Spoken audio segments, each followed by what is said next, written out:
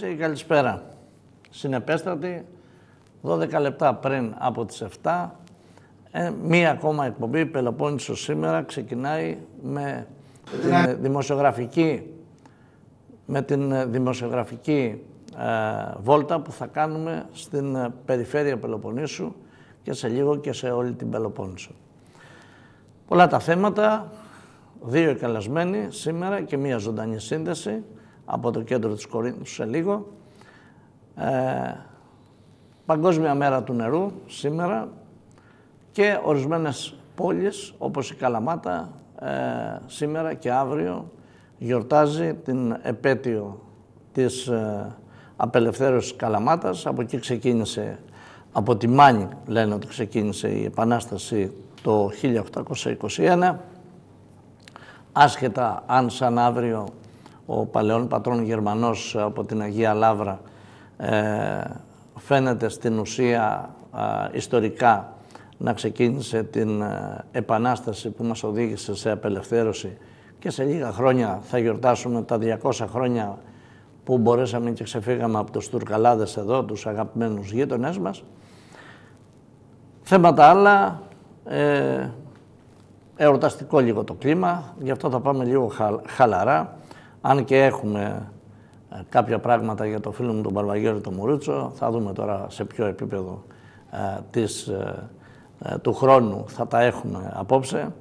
Λοιπόν, όπως με βλέπετε έχω τρομοκρατηθεί ειδικά όταν μου στέλνουν εξώδικα τύποι σαν τον Μπαρβαγιώρη και τον Μουρούτσο, τρομάζω πάρα πολύ, ειδικά εγώ και ε, στην ουσία αισθάνομαι τύψεις ότι τους αδικό, λες και ασχολούμαι εγώ με τον κάθε Μουρούτσο ε, όταν ο άνθρωπος δεν έχει θεσμικό ρόλο. Δηλαδή είναι ένας απλός πολίτης, ένας επιχειρηματίας κτλ.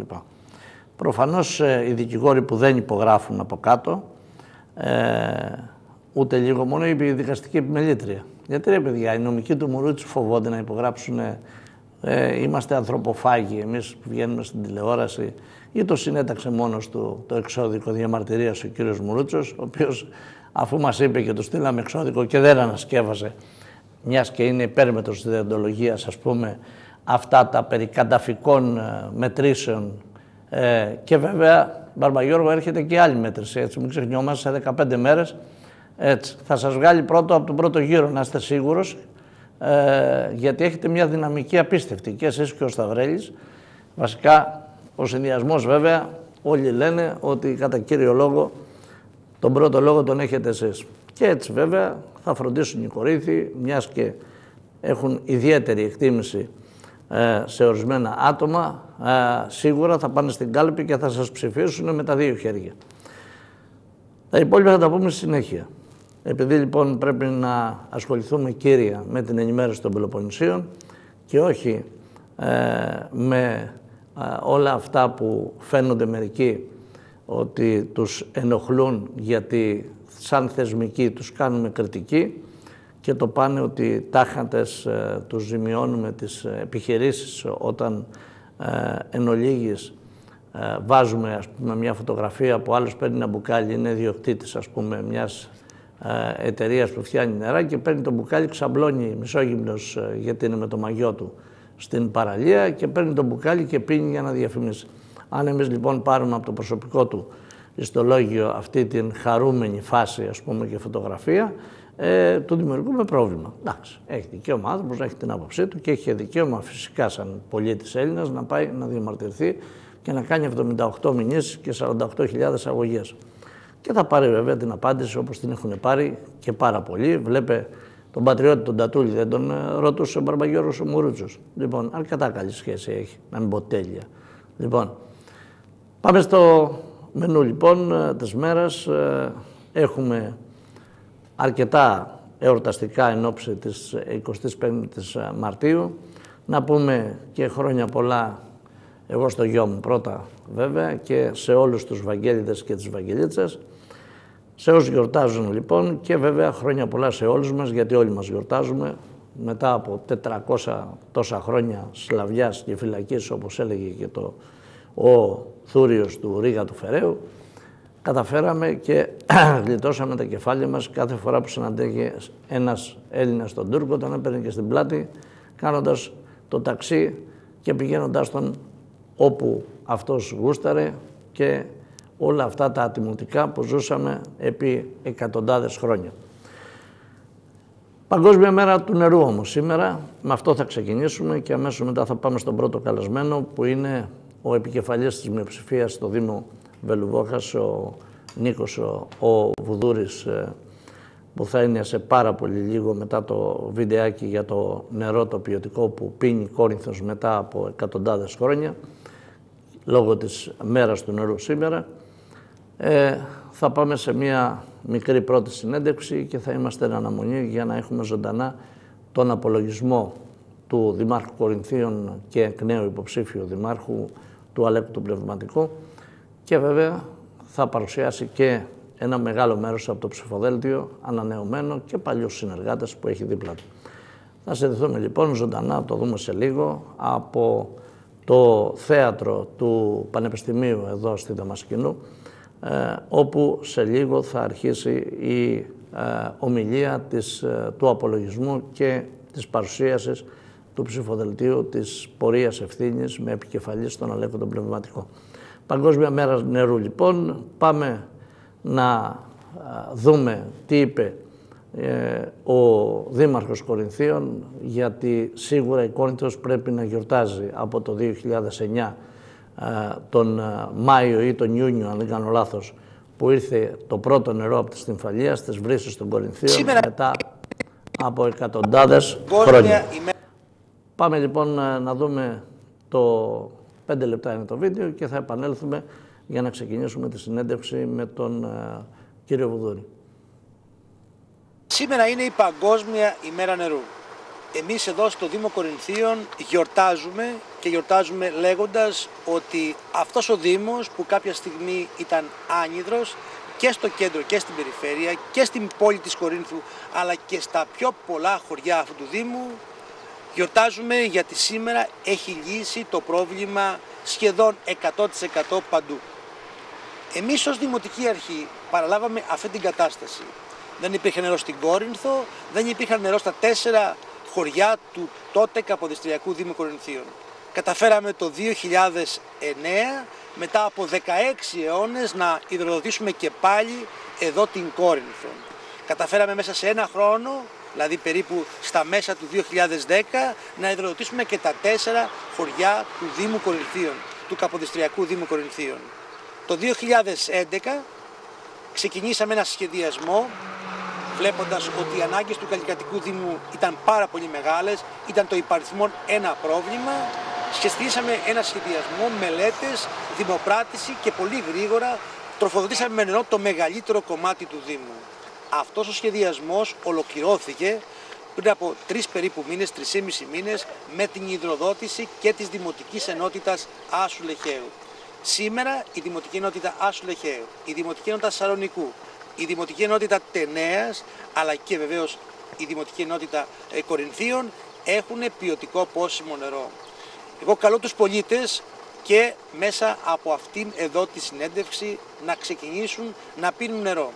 Είναι κάτι το οποίο πιστεύω ότι μπορεί να γίνει άμεσα από όλους.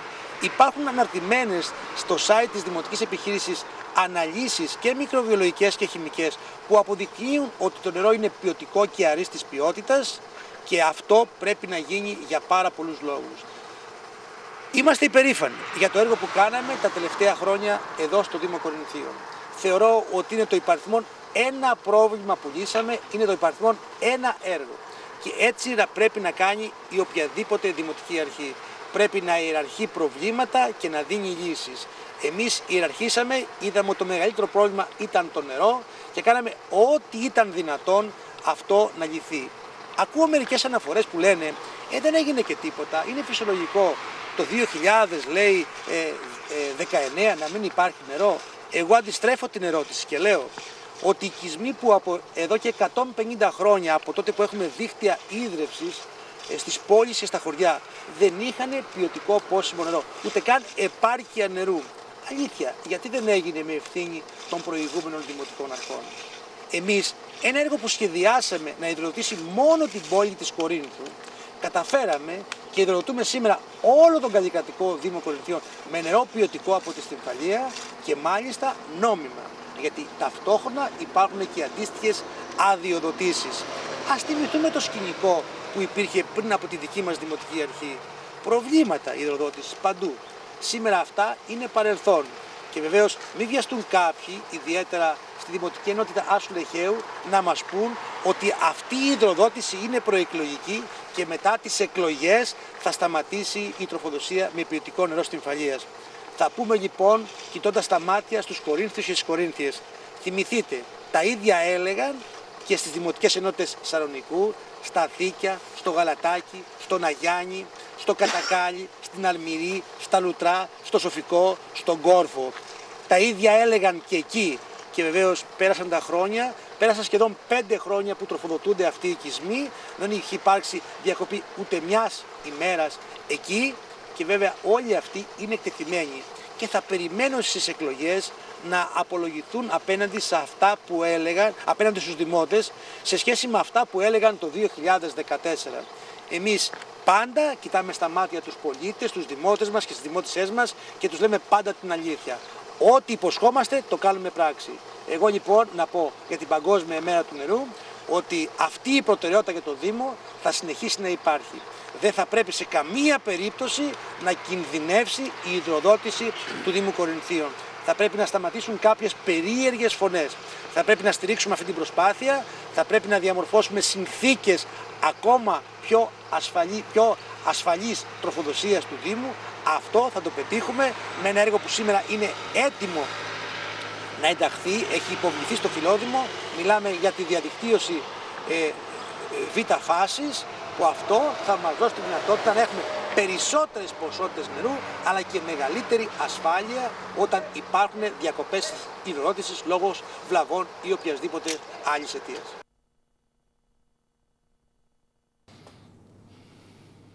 Βρήκε ο Πεπέρης πλάνα από τη τζίρια που τραβάνε, από τη λίμνη στην Φαλία που τραβάνε παλιά, ας πούμε, καταλάβατε, οπότε έφτιαξε ωραίο ρεπορτάζ. Μέρα του νερού λοιπόν σήμερα και σίγουρα η Κόρυθος έχει τώρα είναι η ένατη χρονιά που γιορτάζει γιατί είδε νερό και φέτος, δηλαδή πριν από 1,5 μήνα, πήρε και ο τελευταίος Δήμος, ο πρώην Δήμος Άσο Λεχαίο. Μαζί μου λοιπόν ο Νίκος Βουδούρης, ε, επικεφαλής της ε, μειοψηφίας στο Δήμο Βέλου Κύριε Βουδούρη, καλησπέρα και χρόνια πολλά για τη Μεθαυριανή και καλή επιτυχία. Καλησπέρα κύριε Κάπου και από μένα χρόνια πολλά για τη Μεθαυριανή και σήμερα είναι η μέρα του νερού. Δεν γιορτάζετε εσείς στο Βελοβόχας. Ε; Εμείς ε, μνημόσυνο έχουμε. Γιατί ο δήμαρχός σας δεν κατάφερε ο Σταματόπουλος Πήρε, έχει γεμίσει το τόπο μπουκάλια, σήμερα έχει γιορτή στο Κιάτο, θα την έχουμε την τρίτη εδώ την, τη γιορτή.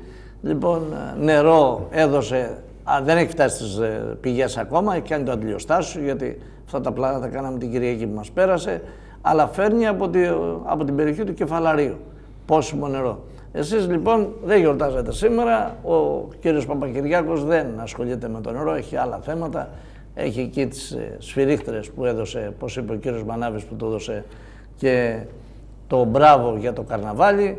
Αυτό είναι το θέμα. Το φλέγον θέμα, κύριε Βουδούρη, ήταν να πάρουμε χίλια ευρώ για σφυρίχτρες για να σφυρίζουν 3.000 άτομα στο καρναβάλι, αν ήταν τόσο. Εμάς, κύριε Κάπα, από ό,τι καταλάβατε, δεν μας ενδιαφέρει η υγεία των πολιτών. Σήμερα η μέρα του νερού και το μόνο που κάνουμε καλό στη Βόχα είναι τα καρναβάλια. Το είχαμε πει από καιρό. Το καρναβάλι το μόνο που κάνει είναι ότι έχουν δουλειά τα καταστήματα και μία μέρα εκεί γεμίζουν όλα. Την ημέρα του νερού σήμερα και πριν τρεις μέρες έβαλα το θέμα πάλι στον κύριο Παπακυριάκου για να καταλάβουν οι δημότες ε, πόσο πίσω είναι ο Δήμος μας. Εδώ και δύο χρόνια τον είχα ενημερώσει ότι το Κιάτο θα πιει νερό, και με ειρωνευόταν πάλι. Να φανταστείτε προχτές στο Δημοτικό Συμβούλιο και το έχετε, ότι πετάχτηκε ένας σύμβουλο του και είπε ότι το νερό το κιάθο το πήρε για άδρευση. Είναι τόσο άσχετη, μην πω και τόσο ανίκανη. Το κιάτο διαφημίζει το νερό που παίρνει και μάλιστα τους έδειξα ένα ολοσέλιδο σε κάποια εφημερίδα τοπική που έχει βάλει διαφήμιση ο Δήμαρχος του Κιάτου. Είναι ο μόνος Δήμος, η μόνη περιοχή που δεν παίρνει νερό και δεν έχουμε κάνει και καμία ενέργεια. Ε, ούτε για τα υδραγωγεία, ούτε να ζητήσουμε να συνδεθούμε κι εμείς. Λες και είμαστε, οι πολίτες οι δικοί μας είναι παιδιά κατώτερου Θεού. Ε, όλοι πίνουν νερό, εμείς προς το παρόν θα πίνουμε το βούρκο και δεν θα έχουμε και νερό να πιούμε. Ευτυχώς και φέτος ε, που έβρεξε πάρα πολύ γιατί πέρσι, κύριε Βουδούρη, είχε ξεκινήσει το θέμα με το νερό στη, στο Δήμο σας από τα τέλη Απρίλη. Ε, και πάλι και νερό να έχουμε είναι πολύ κακής ποιότητας. Σε πολλά χωριά βγαίνει μαύρο το νερό και στο βραχάτι ε, σε μια περιοχή και έτσι οι επισκέφτες φεύγουν και ειδικά στον Πολάτη που έχουμε το μεγάλο πρόβλημα ε, το νερό βγαίνει καφέλες και είναι φραπέ. Το έχουν δείξει πολλές φορές και εκεί μάλιστα τις περασμένες εκλογές το διαφήμιζε ότι θα πιει γάργαρο νερό το χωριό και εξοδευτήκανε κάποια χρήματα χωρίς λόγο. Μάλιστα τώρα ο διοκτήτης που είχε βάλει αυτό το πειραματικό, σε πειραματικό στάδιο ε, αρχίζει και τα πιλωτικό, αρχίζει και ξυλώνει τα μηχανήματα και τα παίρνει γιατί δεν έχουν πληρωθεί. Απλώς δοθήκανε κάποια λεφτά σαν ενίκιο. Αυτή είχατε, είναι η νοικιάσει, είχατε νοικιάσει, κύριε Βουδόρη, ε, σύστημα για να κάνει, ε, ας το πούμε, καθαρισμό του νερού ή είχε βρει ο άνθρωπος κάποια γεώτρηση; Όχι, είχε ένα σύστημα μπει στο χωριό του Βολατίου πιλωτικό και μάλιστα όταν ξεκίνησαν τις πρώτες μέρες, τα πρώτα συμβούλια, ήθελε να βάλει και σε άλλα χωριά. Του λέω κάτσε να δούμε εάν ε, αυτό λειτουργεί και αν πράγματι ε, το χωριό του Πολατίου θα πιει καθαρό νερό. Μετά βρήκαν τη δικαιολογία ότι ήταν πολλά τα κυβικά και δεν προλάβαινε να το καθαρίσει. Αποτυχία και εκεί. Και με αυτές τις ε, ιδέες και με αυτά που έλεγε, κατόρθωσε και κέρδισε πολλούς ψήφους μέσα από αυτό το χωριό. Τώρα για να δούμε τι θα πει τώρα, ότι θα φέρει το νερό από τη Στεφαλία πότε; Δύο τετραετίες, την πρώτη καθάρισε λέει τα οικονομικά και καθάρισε το Δήμο ε, και απλώς έκανε μία αρρύθμιση. Ακόμα χρωστάμε λεφτά και προχτές μας είπε ότι πρέπει να διαλύσουμε μια εταιρεία γιατί φάγαμε πρόστιμο ε, λάθος αφημί. Δεν μπορούσαμε να καθαρίσουμε τώρα 6-7 χρόνια ε, ένα λάθος αφημί που ήρθε και έτσι κάποιοι υπάλληλοι που είναι στη βοήθεια, είναι, που δουλεύουν στη βοήθεια στο σπίτι δεν έχουν πληρωθεί ακόμα τόσα χρόνια. Μάλιστα. Τώρα μεταφέροντας την εταιρεία, λέει στο Δήμο, θα κατορθώσουν αυτοί οι υπάλληλοι να πληρωθούν. Πάμε στα εκλογικά, κύριε Βουδούρη. Πώς δύο μήνες από τις εκλογές είναι η αυτοδιοικητική εκλογική κόντρα. Ε, ο συνδυασμός σας, η ΑΕΚ, δηλαδή ανεξάρτητη ε, κίνηση, ε, πώς έχετε προετοιμάσει το πρόγραμμα; θέλω δύο κουβέντες για τους υποψήφιους.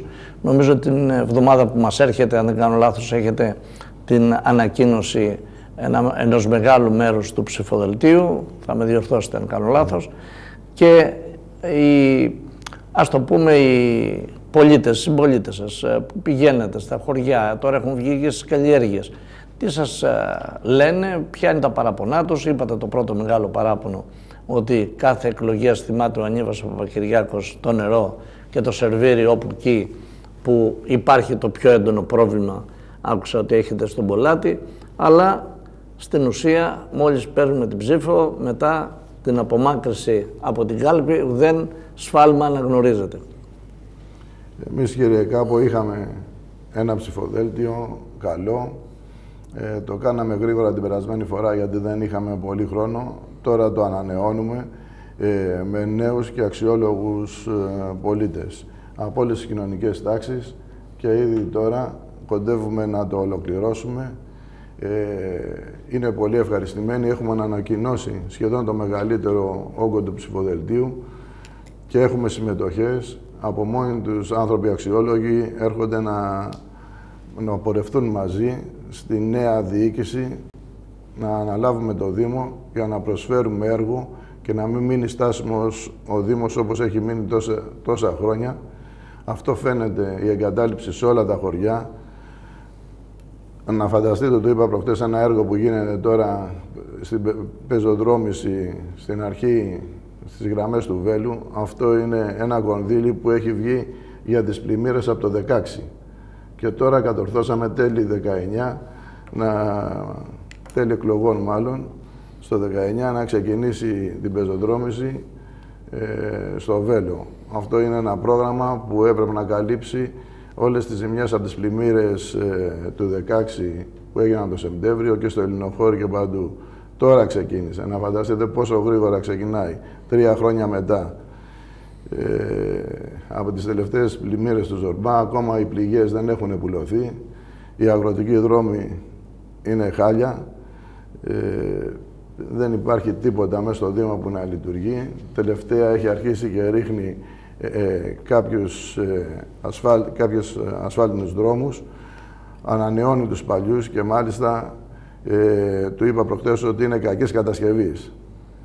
Ρίχνει μέσα σε αυλές για να εφεπαρπάρσει τη ψήφο των ε, πολιτών και μάλιστα στο Βοχαϊκό μου είπε ότι έριξε στο, κεντρική, στο κεντρικό δρόμο.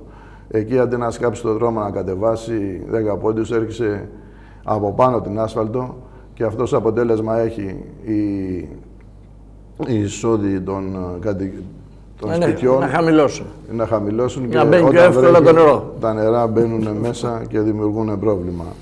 Όλα γίνονται χωρίς μελέτες, όλα γίνονται στα γρήγορα. Οι υπηρεσίες, ποιος τις παραλαμβάνει; Αυτά τα έργα και όλους. Υπάρχει επιβλέπων από το Δήμο, έχετε υπηρεσία τέτοια, κύριε Βουδούρη; Δημιουργεί μια επιτροπή παραλαβής έργων, η οποία είναι πάντοτε τις περισσότερες φορές. Ε, πρόσχεται στο Δήμαρχο για να κάνει καλύτερα τον έλεγχο. Εγώ το είπα δύο-τρεις φορές που έχω κληρωθεί ε, να κάνω τον έλεγχο.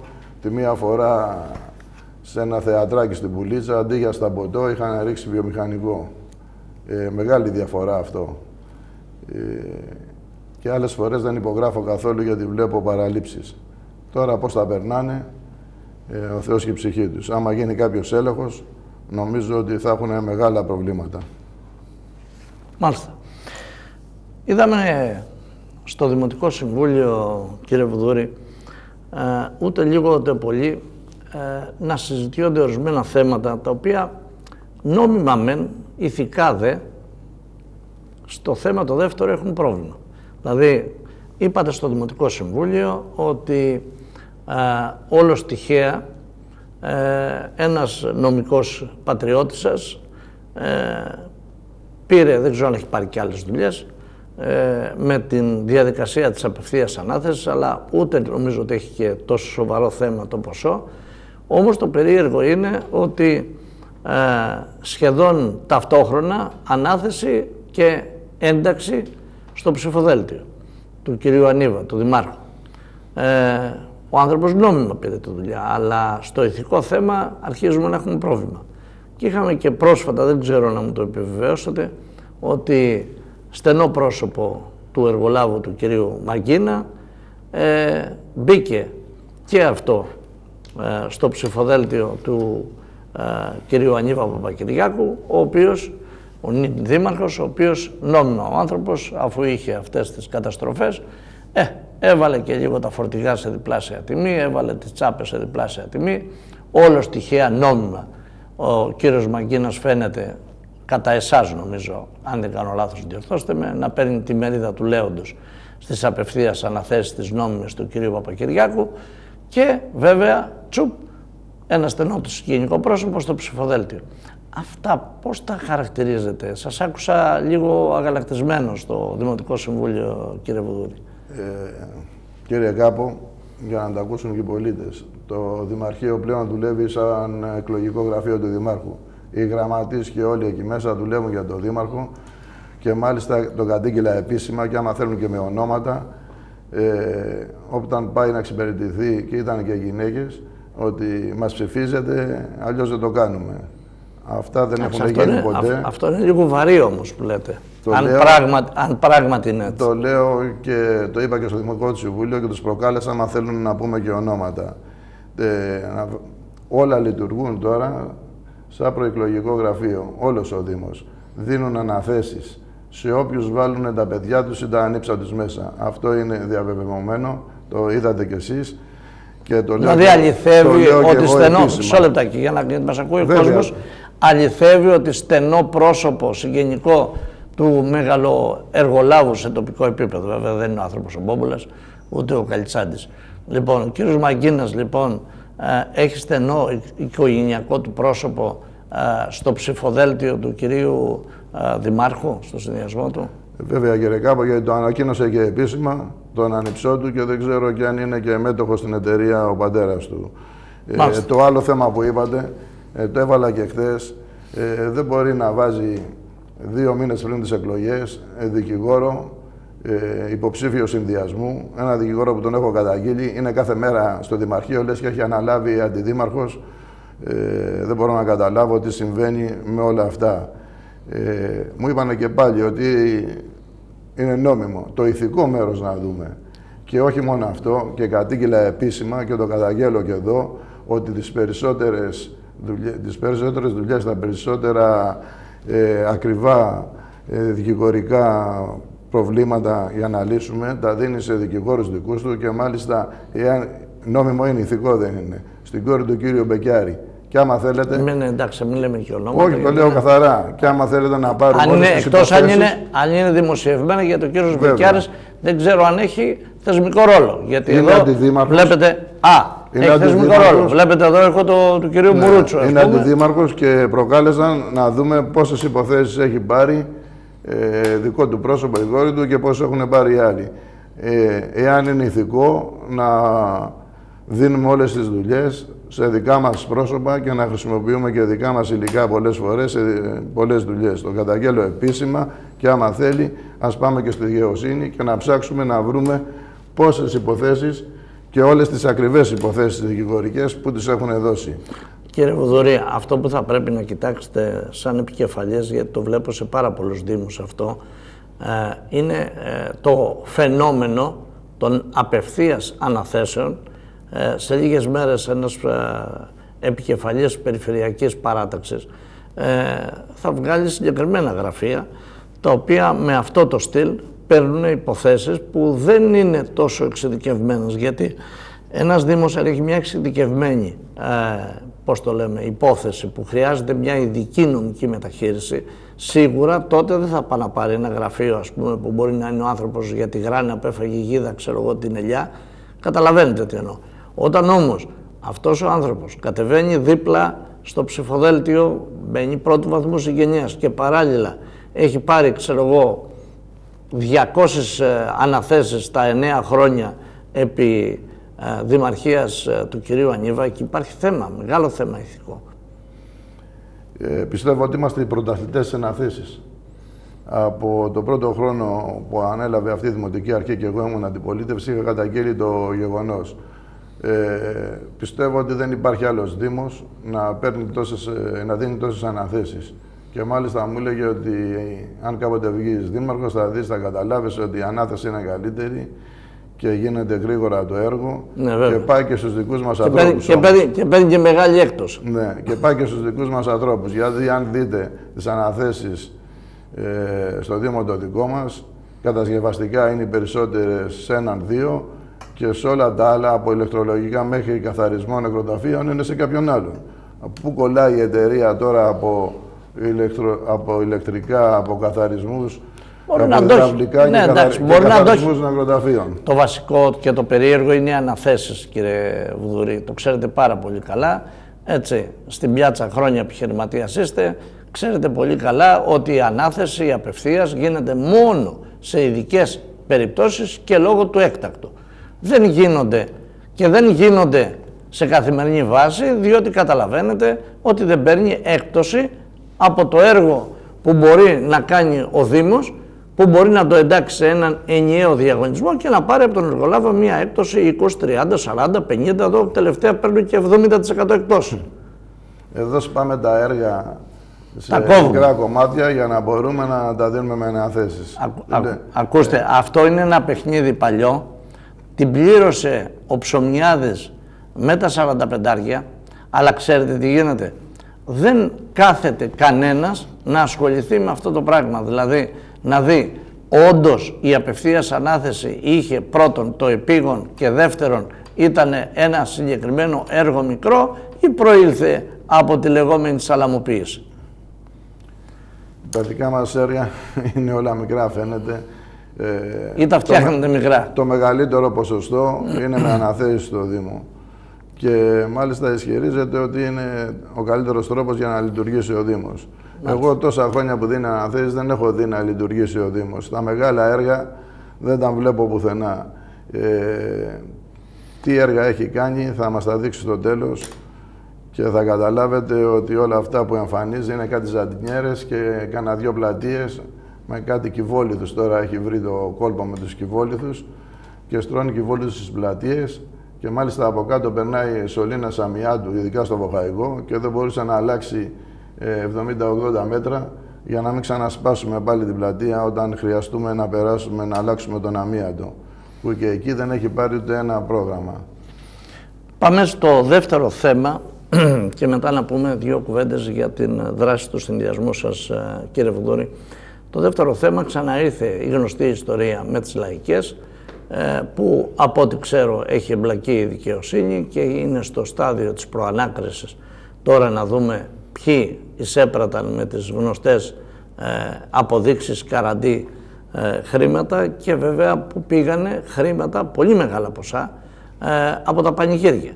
Διότι όταν δεν υπάρχει ένα πλαίσιο να παρθούν τα χρήματα και να μπουν στα ταμεία του Δήμου για τους χι λόγους. Εγώ να δώσω και ένα ελαφρυντικό στον κύριο Παπακυριάκου και να πω ότι ο άνθρωπος με τις τόσες δουλειές και υποχρεώσεις που είχε σαν δήμαρχος δεν προλάβαινε να δώσει εντολή στους αντιδημάρχους ή στις υπηρεσίες του να βρουν έναν τρόπο όπως έχουν όλοι οι άλλοι δήμοι σχεδόν και έχουν τον κανονισμό για τις λαϊκές αγορές ή για τα πανηγύρια που λέει αυτά παίρνουμε, έτσι τα παίρνουμε, έτσι μπαίνουν στο Ταμείο του Δήμου. Σε αυτό το τομέα λοιπόν είδαμε να χτυπάνε εκεί ο γνωστός, δεν ξέρω τώρα, αυτός νευριάζεται, ο νεαρός πάρα, νευριάζει πάρα πολύ εύκολα. Λοιπόν, και να λέει διάφορα πράγματα, μάλιστα εξέφυγε και λίγο η κατάσταση, γιατί ακούστηκαν πράγματα τα οποία έχουν και ακουμπάνε και θέματα δικαιοσύνης έχουμε κάποια εξέλιξη πάνω σε αυτό το πράγμα γιατί σας άκουσα να τους λέτε ότι αφού ήρθα, έκανα πρωτόκολλο, έκανα αίτημα, ζήτησα νόμιμα σαν επικεφαλής μειοψηφίας στο Δήμο Βελεβόχας τα χαρτιά και δεν μου τα δώσατε. Λοιπόν, από εκεί και πέρα ποιος άλλος τρόπος θα υπήρχε περισσότερο για να υπερασπιστείτε και να μην μπλέξει ο Δήμος; Είναι κάτι διαφορετικό. Κύριε Κάπου, εγώ τους εξήγησα και στο Δημοτικό Συμβούλιο. Γιατί τώρα έχουν βγάλει την καραμέλα ότι ήταν προεκλογικό τέχνασμα δικό μου. Εδώ και δύο χρόνια τους είχα πει ότι πριν τελειώσει η θητεία μου και η θητεία τους, πρέπει ο κόσμος, οι δημότες μας να μάθουν εν τέλει μέσα σε αυτά τα πολλά χρόνια τι έγιναν κάποια χρήματα. Πολλά ή λίγα είναι το ίδιο. Ε, η απάντησή τους εδώ και χρόνια ήταν δεν υπήρχε κανονισμός από το 2011. Εγώ έψαξα και βρήκα ότι υπήρξε ένας κανονισμός 188 του 2017 που είχα ψηφίσει και εγώ μέσα στο Δημοτικό Συμβούλιο και παραλίγο να πω ψέματα γιατί δεν το θυμόμουν και το, βρήκε, και το βρήκαμε τελευταία στιγμή και κατέθεσαν στο αγγελέα ότι υπήρχε. Βέβαια αυτός ο κανονισμός από ό,τι είπε ο κύριος Τρογάδης ε, δεν πέρασε. Δεν μας ανακοίνωσε τίποτα στο Δημοτικό Συμβούλιο και δεν ξέραμε. Αλλά ευθύνες δεν φέρνουν ότι από το 2011 δεν υπάρχει κανονισμός και αφού δεν υπήρχε κανονισμός δεν έπρεπε να μαζεύουν τα λεφτά. Ποιος έπαιρνε τα λεφτά και πού πηγαίναν ήταν ξεκάθαρη ερώτησή μου. Τώρα κάναμε και ένα καλό. Από τότε που, που πήγα εγώ στη δικαιοσύνη δεν μαζεύουν λεφτά και έτσι οι έμποροι και Λύτωσαν οι έμποροι τουλάχιστον βέβαια. Λύτωσαν, και, αλλά και τώρα τα, τα πανηγύρια έρχονται σε λίγες εβδομάδες. Ε, να φανταστείτε ότι είχα δίκιο και το καταλάβανε και μόνοι τους. Τώρα σπάσανε τον κωδικό ξεχωριστά στις λαϊκές και ξεχωριστά στα πανηγύρια. Το κάναν τώρα αυτό. Στο περασμένο συμβούλιο πριν δύο μέρες. Μάλιστα. Το εισηγήθηκε ο κύριος Παπακυριάκος, ο κύριος Δήμαρχος, αυτό ε, παλιότερα γιατί δεν το έκανε. Ε, ή ο, ο κύριος Τρογάδης που είναι υπεύθυνος οικονομικών. Μάλιστα. Ε, ο κύριος Τρογάδης λέει ότι εγώ δεν μπορούσα να εισπράξω τα λεφτά και αν ερχόσανε δεν είχαμε κανονισμό, οπότε δεν ξέρω ποιος έσπραξε τα λεφτά, ε, ποιος ε, έπαιρνε αυτά τα χρήματα, πού πηγαίνανε Ε, απλώς ε, και μου λένε, αν είναι, να ερχόσουν στο Δημαρχείο, λέει, να σου λέγαμε και να λυνόταν η παρεξήγηση. Μα εγώ δεν θέλω να μάθω προσωπικά. Θέλω να μάθουν οι δημότες ότι κάποια χρήματα που εισπράττει ο Δήμος και έχει χάσει ο Δήμος, που τέλος πάντων ε, πήγανε και κατηγορηθήκανε και πολλοί κατά το παρελθόν, λέει ότι τα βάλανε στις τσέπες. Αυτό θα το βρει ο υπεύθυνος και ότι έχω μέντορες και τα λοιπά. Εγώ έχω ξεκινήσει τον, τον αγώνα μου στα δημοτικά εδώ και 25 χρόνια από μικρό παιδί, μέντορες δεν έχω και ε, όλος ο δρόμος μέσα, στο, μέσα στη δημοτική αρχή, είτε από την πολίτευση, είτε από οποιαδήποτε άλλη θέση, είναι ξεκάθαρη και δεν δέχομαι ούτε κουβέντες, ούτε μέντορες έχω. Προσπαθώ να οδηγήσω το συνδυασμό μου με τις δικές μου αρχές και με τη δικιά μου ηθική. Δύο ερωτήσεις ακόμα, κύριε Βουδούρη. Ο έτερος της αντιπολίτευσης, ο κύριος Μανάβης, για το θέμα της λαϊκής ή για αυτό το θέμα το ηθικό που έχετε σηκώσει ότι από τη μια μεριά ο θείος παίρνει απευθείας νόμιμα αναθέσεις και ο ανιψιός αναλαμβάνει τα ενία του Δημοτικού Συμβούλου ε, με τις ευλογίες του Δημάρχου, στο συνδυασμό του. Ε, ένα πράγμα που έχει θέμα ηθικότητας, τουλάχιστον έχει, γιατί το έχουμε ζήσει και εδώ στην Κόρινθο με κάποιους άλλους αντίστοιχους και το ζούμε και ευρύτερα στην περιφέρεια.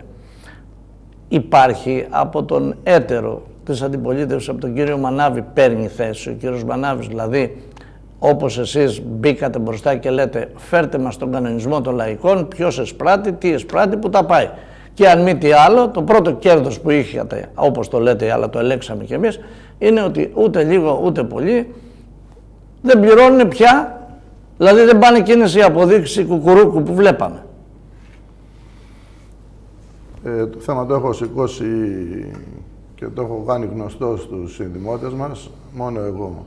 Από εκεί και πέρα ο κύριος Μανάβης ε, έχει τη δικιά του τακτική. Αν θέλει υπάρχει ένα-δύο συμβούλια ακόμα, να ακολουθήσει και τη δική μου γραμμή για να καταλάβει. Κάποιοι, να, και σας πληροφορήσω ότι κάποιοι που ήταν στη θέση μου πριν από μένα την, επόμενη, την προηγούμενη τετραετία το έχουν μετανιώσει και αυτοί που δεν οδηγηθήκαν σε αυτόν τον δρόμο που οδηγήθηκα εγώ και ομολογούν τώρα πλέον ότι έπρεπε να το είχαν κάνει.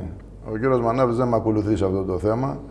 Ε, το μόνο που με ακολούθησε είναι στα διπλάσια τιμολόγια που είχαμε κόψει και το έβαλε και αυτός ε, με βίντεο του Δημάρχου Κορινθίων.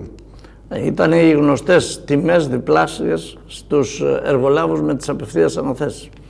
Και κλείνοντας, ε, κύριε Βουδούρη, γιατί είμαστε στην αναμονή για μια ζωντανή σύνδεση από το κέντρο της Κορίνθου, με την, ε, τον απολογισμό και την λογοδοσία του Δημάρχου Κορινθίων, του Αλέπου του Πνευματικού και εκ νέου υποψηφίου, θέλω να μας πείτε με δύο κουβέντες ε, προεκλογικά αυτή την εβδομάδα και αυτό το Σαββατοκύριακο, γιατί κατεβαίνει και ο κόσμος είναι και τετραήμερο κάτω, φουντώνει ο προεκλογικός πυρετός, ε, ο συνδυασμός σας, ε, η ανεξάρτητη ενωτική κίνηση, ΑΕΚ όπως τη λέμε εμείς, φαντάζομαι να τη λέω σωστά, ε, τι δράσεις έχετε ε, τιμάσει μέχρι και την άλλη Τετάρτη Πέμπτη; Εμείς ε, σχεδόν κάθε μέρα επισκεφτόμαστε διάφορα χωριά, καθόμαστε φιλικά και μας υποδέχονται με ανοιχτές αγκάλες γιατί ξεκινάμε με 10 άτομα και καταλήγουμε 30-50 ε, θέλουν να ακούσουν τις προτάσεις μας και τις δέχονται πολύ ευχάριστα γιατί έχουμε προτάσεις